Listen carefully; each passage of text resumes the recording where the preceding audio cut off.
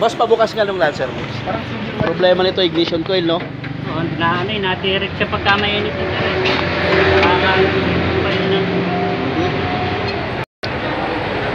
Matrabaho lang kasi ang coil nito, eh. Talagang nasa loob ng distributor. Isang oras naman bago tumitirik. Hindi naman. meron naman gano'n. Kaya pagka kasi nasa traffic ako eh, bigla lang namamatay bago medyo matagal-tagal bago mag-start. Na-start naman, tsaka to agad. Coil nga yan. Ito, ignition coil.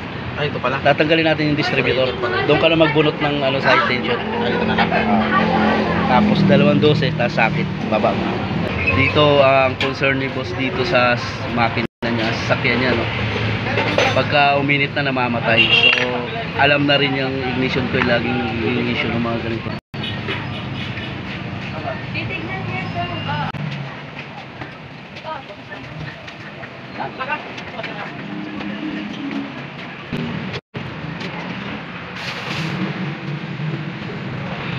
Tapos itong dalawang dose lang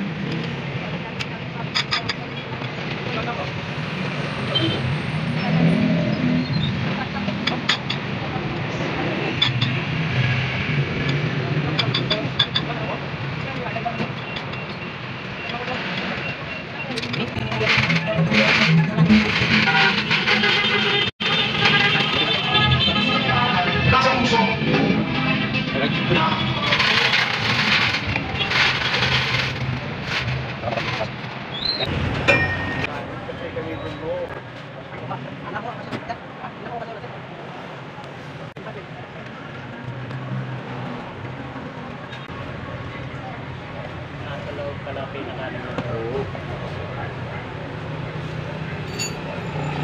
Na.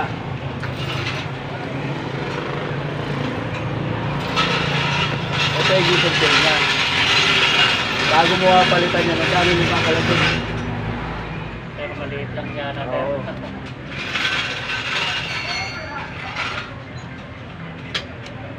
Ano pa pala? Ito. Alright. Itong dito na yan, sir. Kaya ganyan. Nag-misfire na.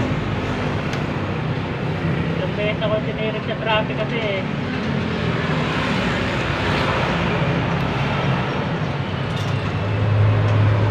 Bago pa hirap pala siyang paandar eh.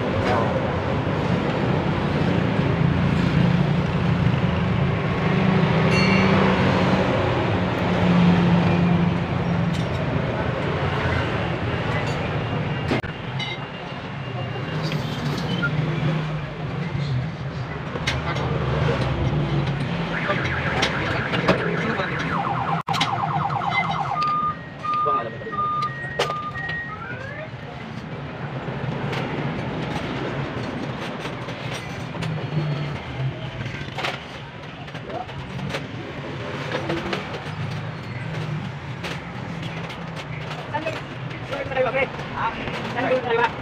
Ano yan, lapis na. Basta. Ito sa blong. Oo, kasi ano nga rin sa kapit. Hindi natin naman pre-release ko lang. Pre-release ko lang. Kulang kulang. Ang dalas na ba? Oo. Hindi lang. Pre-release ko lang yung isa. Tapos matis pa rin ko na.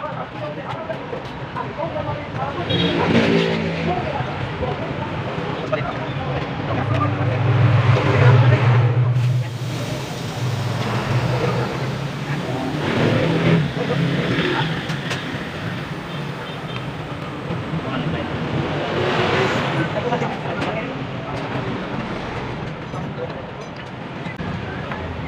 Ay, nasa pinakailalim yung coil. eh. Tatanggalin pa natin to shafting na to. Maghuhugot pa tayo dito. Napakatrabaho ng coil.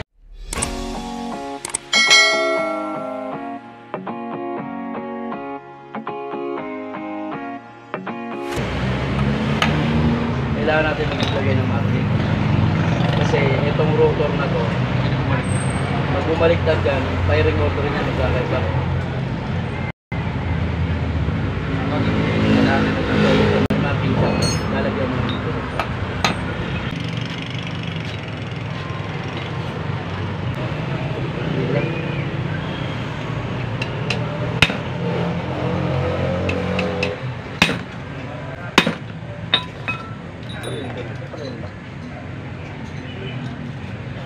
Trabaho ng ano.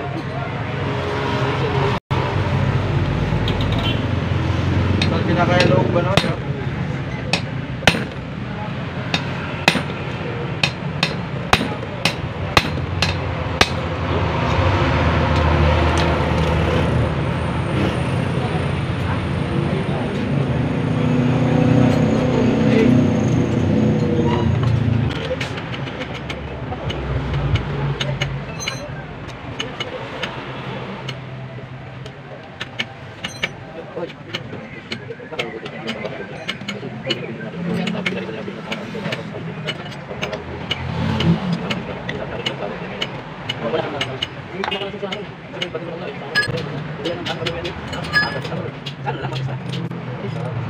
Ah,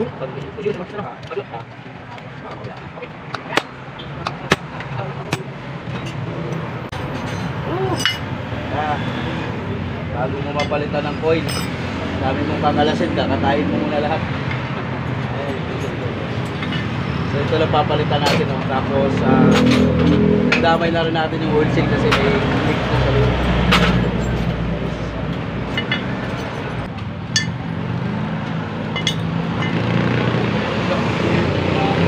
Kailangan mo lang. ah.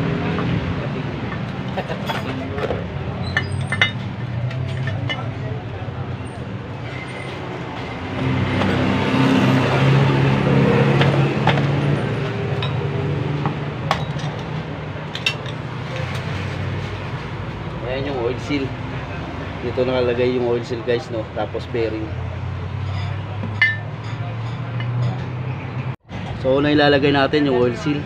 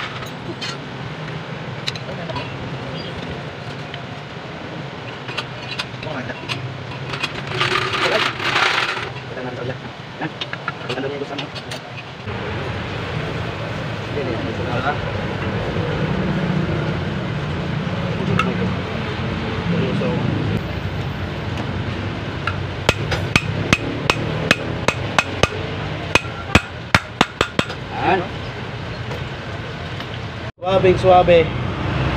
Sabi na guys, kung hindi dahil sa mga incheck, sa mga kaharap talaga ng pyesa. Kaso yung mga pyesa, mapasubra. Kailangan mo munang lihalhain. So, ito naman tayo dito sa rotor, no? Kaya tayo may marking kasi pag nabaliktad natin itong ikot, nawawala yung firing order. So, kailangan maglagay ng marking. Okay, bye. Hawakan mo nga ito pa rin. Hindi, magkano po kami ng complete? Ha? Ito lang pala, ito lang. Eh, dito na yan. Ayan, marking.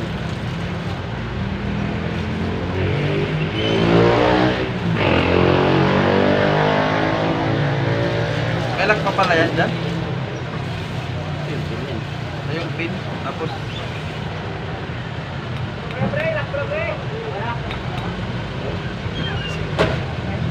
Padagdag na kanin sa pinigol, baka mapili naman sa kanin sa Yan.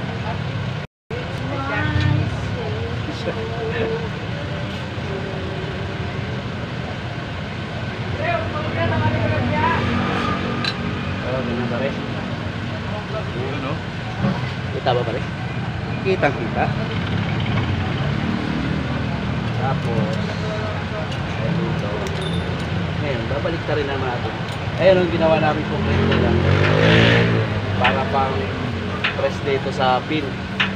Nag-aasa lang tayo ng concrete nail. Improvise. Improvise. Tapos yung ulo naman para hindi ma... Nagtulo naman.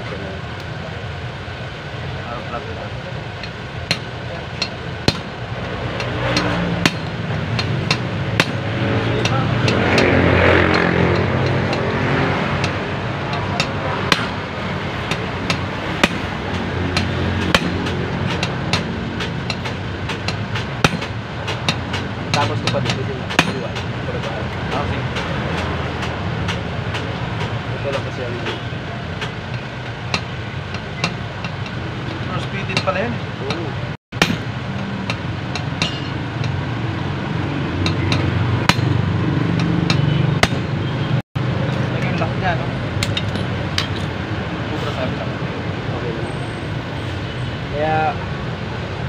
Papalit lang ng ignition coil.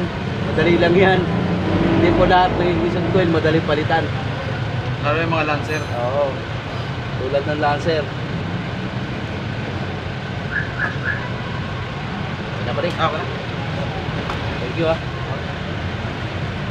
Tapos, ha?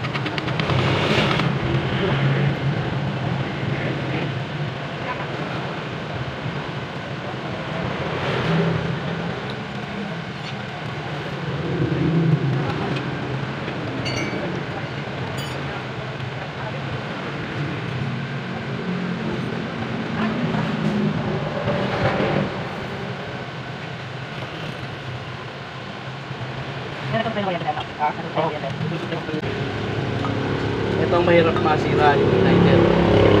Pagka yan ang nasira, para ka nang papalit ng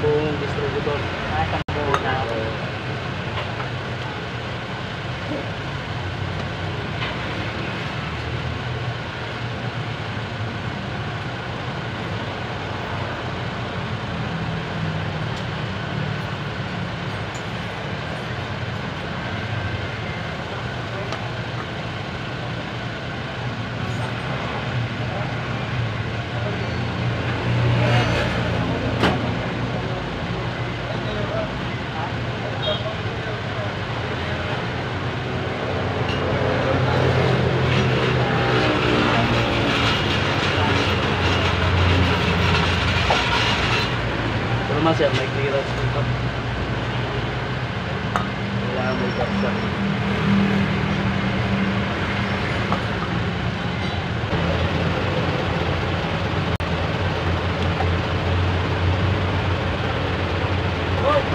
Okay.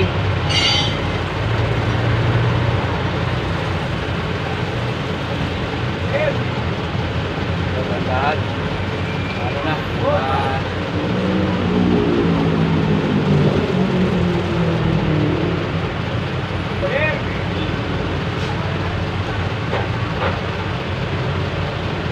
ay.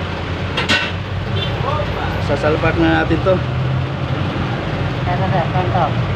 Dito yan sa Maandar na yung ano Ginawa nating ignition coil doon distributor tsaka oil seal. 4013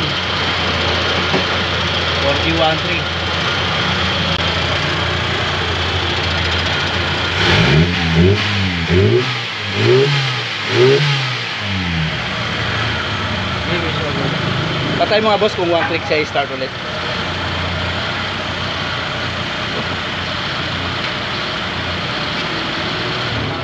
Start. Ayos. Ayos na ayos. Grabe. Grabe. Lancer hotdog.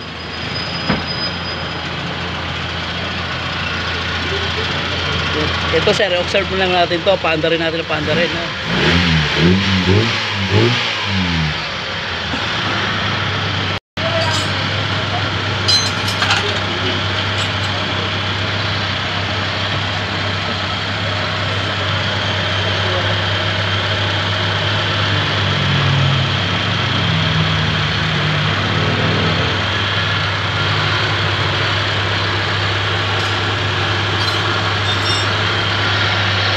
Ah, okay na yung lancer na ginawa natin distributor oil seal so kung may nakuha kayong idea guys kung paano magpalit ng mga ganitong ah, ignition coil ng 4D13 na lancer at saka oil seal huwag nyo kalima, kalimutang i-subscribe yung youtube channel natin Jojo Gar TV sa facebook at huwag nyo rin kalimutan i-follow.